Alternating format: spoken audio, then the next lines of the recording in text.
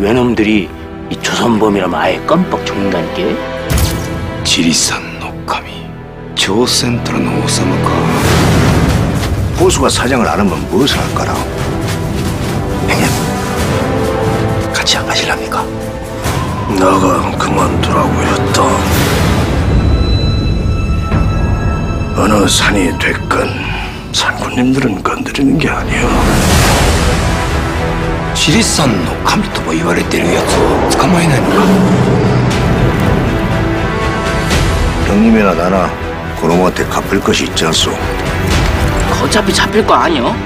아버지랑 나가 한번 잡아보면 어떨까?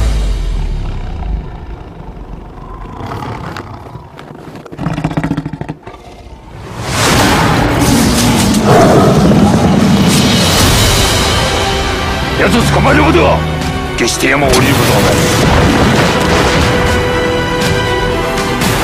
혼자 산에 알아서 할 일이야 다시 돌아가야지야